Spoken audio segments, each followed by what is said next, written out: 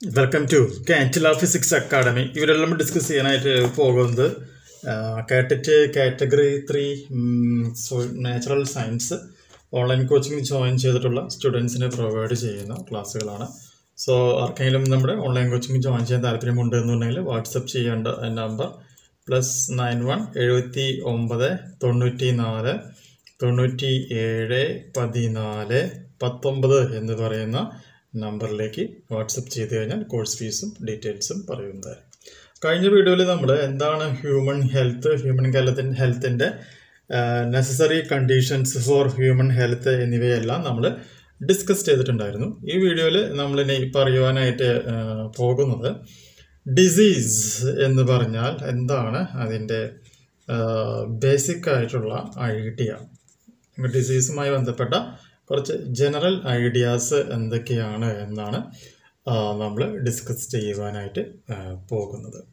അപ്പോൾ ഡിസീസ് എന്ന് പറയുന്ന വേർഡ് കറക്റ്റ് അതിന്റെ ഒരു ലിറ്ററലി മീൻസ് എന്ന് പറയുകയാണെങ്കിൽ അൺ അൺകംഫർട്ട് എന്നാണ് അതുകൊണ്ട് ബേസിക്കലി മീൻ ചെയ്യുന്നത്. ഓക്കെ അതായത് ഈ വേർഡ് ഡിസീസ് എന്നുള്ള വേർഡ് ശരിക്കും ഫോം ചെയ്തേക്കുന്നത് dis then E A S E ഇങ്ങനെയാണ് അത് ഫോം ചെയ്തേക്കുന്നത്. ഇതിന്റെ ലിറ്ററലി മീനിങ് എന്ന് പറയുകയാണെങ്കിൽ അൺകംഫേർട്ട് എന്ന് പറയുന്ന ഒരു ആശയമാണ്. അൺകംഫേർട്ട് എന്നാണ് ശരിക്കും പറയുകയാണെങ്കിൽ ഡിസീസ് എന്ന് പറയുന്നതിന്റെ മീനിങ് അല്ലെങ്കിൽ ഡിസ്റ്റർബ്ഡ് ഈസ് എന്ന പേരിലും നമുക്ക് എന്ത് ചെയ്യാനായിട്ട് സാധിക്കും? റെപ്രസെന്റ് ചെയ്യുവാനായിട്ട് സാധിക്കും. ഡിസ്റ്റർബ്ഡ് ഈസ് എന്നും നമുക്കിതിനെ പറയാം. ലിറ്ററൽ മീനിങ് ആണ് ഞാനിവിടെ പറഞ്ഞിട്ടുള്ളത്. ഇനി ഇതിനൊരു ഡെഫിനേഷൻ ഉണ്ട്. ഡിസീസ് എന്ന് പറഞ്ഞാൽ എന്താണ് എന്ന് പറഞ്ഞുകൊണ്ട് അതിന് എന്തുണ്ട്? ഒരു ഡെഫിനേഷൻ ഉണ്ട്. ആ ഡെഫിനേഷനും കൂടി ഒന്ന് പഠിച്ചിരിക്കുക അതായത് ഒരു ബോഡിയുടെ എന്തെങ്കിലും ഒരു പ്രത്യേക കാരണങ്ങൾ കൊണ്ട് അതിന്റെ നോർമൽ ഫങ്ഷൻസിന് എന്ത് സംഭവിക്കുന്നു?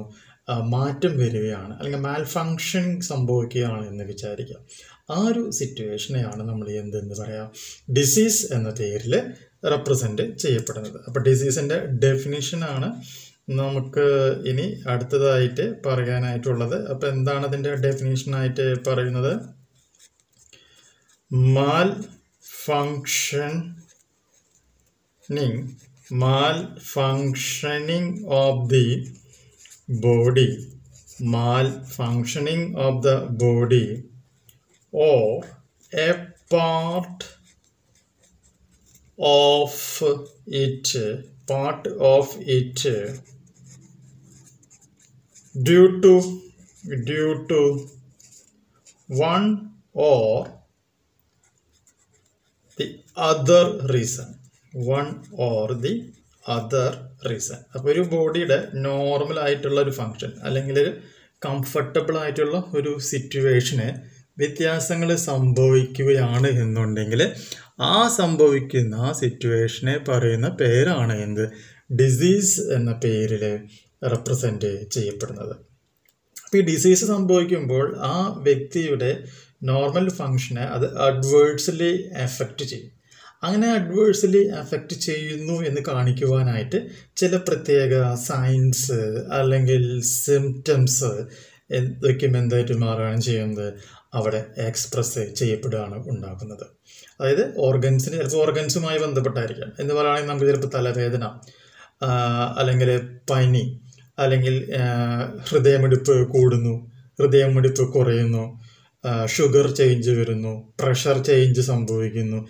ഇങ്ങനെയുള്ള അല്ലെങ്കിൽ സിവിയർ ആയിട്ട് വയർക്ക് സ്വെറ്റനിങ് അല്ലെങ്കിൽ യൂറിനേഷൻ വളരെയധികം കൂടാം അല്ലെങ്കിൽ കുറയാം. ഇതൊക്കെയാണ് ബേസിക്കായിട്ട് നമുക്ക് പറയാൻ പറ്റാകുന്ന എന്തെന്ന് പറയണത്? കുറേ സിംറ്റംസ് ആയിട്ട് നമുക്കിവിടെ പറയുവാനായിട്ട് പറ്റും. അപ്പോൾ ഇങ്ങനെയൊക്കെയുള്ളൊരു ഫങ്ഷൻസ് വരികയാണ് എന്നുണ്ടെങ്കിൽ നമുക്ക് എന്ത് പറയാനായിട്ട് സാധിക്കും? ആ വ്യക്തി ഒരു കംഫർട്ടബിൾ സോണിലല്ല അയാൾക്ക് ഏത് ശരീരത്തിന്റെ ഏതോ ഒരു ഭാഗത്തിനോ അല്ലെങ്കിൽ ഭാഗങ്ങൾക്കോ പാർട്ട് ഓർ പാർട്സ് ഓഫ് ഓർഗൻസിന് എന്ത് സംഭവിച്ചിട്ടുണ്ട്? എന്തോ സംതിങ് അവിടെ മിസ്സിങ് സംഭവിച്ചിട്ടുണ്ട് എന്ന് നമുക്ക് പറയുവാനായിട്ട് സാധിക്കും. അങ്ങനെയുള്ള ഒരു- സിറ്റുവേഷനാണ് നമ്മൾ എന്ത് എന്ന് പറയുന്നത് രോഗം എന്ന പേരിൽ റെപ്രസെന്റ് ചെയ്യുന്നത്. കാര്യം മനസ്സിലായി എന്ന് വിചാരിക്കുന്നു.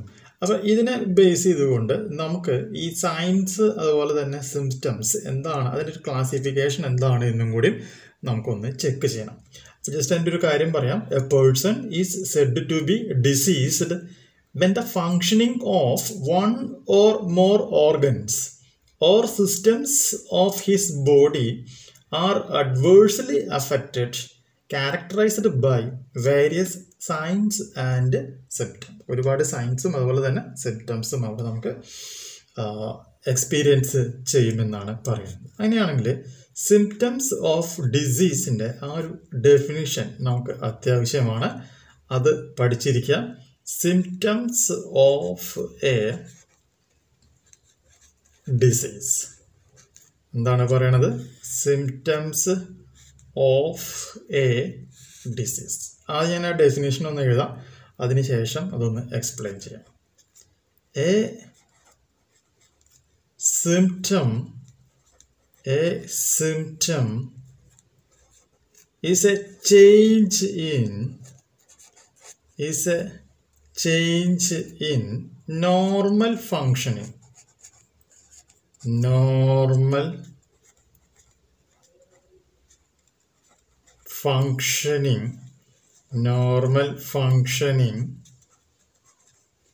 of the body normal functioning of the body which is felt by which is felt by patient but but cannot be observed. Cannot be observed.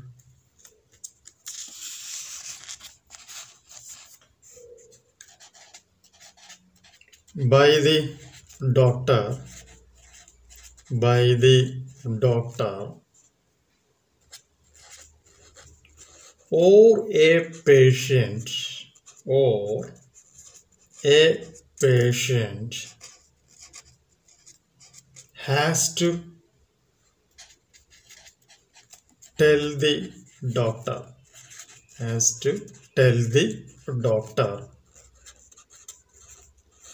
about these experiences about these experiences example. Headache. Headache. ഇനി അടുത്ത് നമുക്ക് science of disease എന്താണെന്നുള്ളതിന്റെ definition നോക്കാം. Science of a science of a disease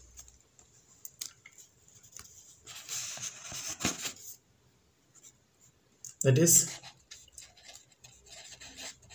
a sign of a disease.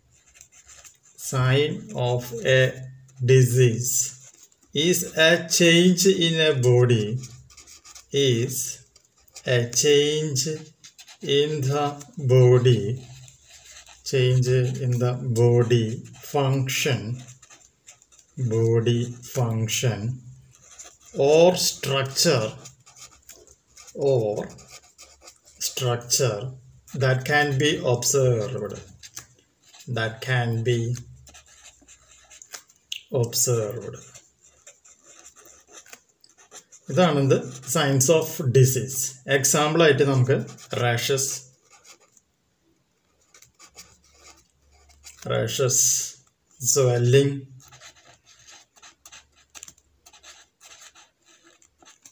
swelling of glands അപ്പോൾ കുറച്ചും കൂടി എളുപ്പമായി swelling of glands change in change in colour of skin change in colour of skin etcetera ഇതാണ് എന്ത്? Symptoms of A ഡിസീസും അതുപോലെ തന്നെ science of a disease എന്ന് പറയുന്നത്. അടുത്ത വീഡിയോയിൽ നമുക്ക് പാത്തോജൻസ് എന്താണ്? വെക്ടേഴ്സ് എന്താണ്? സിൻഡ്രോം എന്താണ്? ഡയഗണിസ് ഡയഗണൈസിസ് എന്താണ്? തുടങ്ങിയ കാര്യങ്ങൾ നമുക്ക് എക്സ്പ്ലെയിൻ ചെയ്യാം. ഓക്കെ